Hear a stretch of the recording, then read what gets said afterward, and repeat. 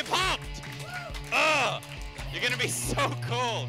So we're here, Polar Plunge. I feel like we're a mix of the Macy's Thanksgiving Day Parade and the Olympics.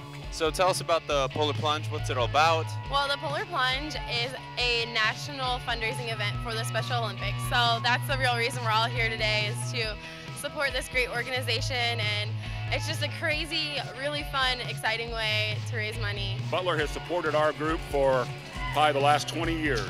So when you guys decided to do a plunge, we thought we better plunge here. Best program in the state, right, Grace? State. Best Right. program in the state. Right. What do people have to do for the Polar Plunge? They have to raise $50 for their student or 75 for their community member. And they come out here, put on a funny costume, and jump into the lovely pool we have outside. And um, I'm not sure if you guys know this, but it's about 20 degrees and it's snowing. It's just cold. And we have an epic event going on, the Polar Plunge. Let's jump into the coldness for a cause. Let's see what's up. Come on, Tony. BUPD coming as the Copsicles. Oh, gosh. I'm cold watching. Oh. Oh. Oh. That could take gold. I feel like this would be something you just have to run, don't even think about. Go through it. Here we go. Lucky Charm going and. Oh. Without getting the hat wet. Oh, that's very hard to do in this kind of competition. you tell no lies. Splash zone! We should have prepared for that. Iron Man's here today as well. Didn't know. Up, secret identity right there. We know who the real Iron Man is now. And Winnie the Pooh. Oh, he likes honey. oh, and with her famous swan. Oh! Oh my gosh. I've seen few people do that. That move's called jubilation. I think that was called Starfish, or maybe Shark Bay Uaha. How you feel?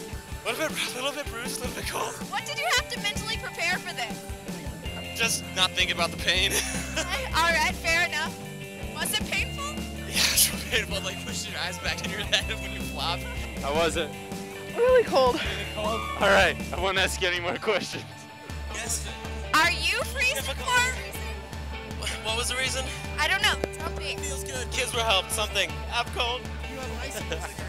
So how was it? What do you think of it? It was, it was fantastic. It was. You guys look so warm right now. You're so cold you're warm?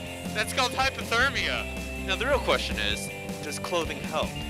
I know a lot of teams bring different outfits, but then again, is it better just to go skin? I feel like it's really up to the participants to decide. really comes down if you want to have flair or if you want to have speed.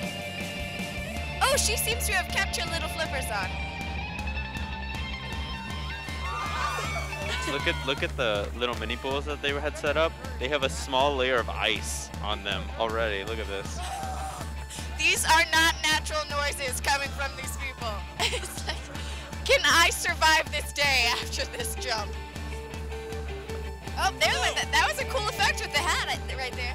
I thought it was fun, and it's really not that cold. All right. Well, I think you're the only one that thinks that. I feel great. I feel rejuvenated. I'm so excited to do this for Special Olympics. Let me tell you what, this is a great cause and a great event. Thank you guys for hosting.